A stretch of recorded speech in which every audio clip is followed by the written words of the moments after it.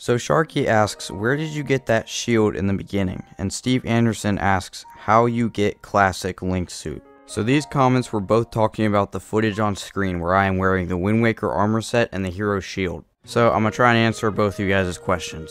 I got these using Wind Waker HD amiibos, but there's one problem. The price of these things are absolutely ridiculous.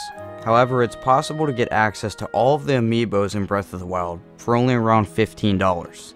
These are unofficial amiibo cards that I got off eBay for $15.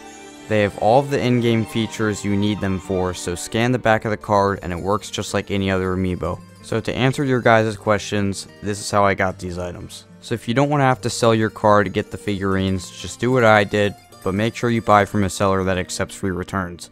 My cards work, but I can't guarantee yours will.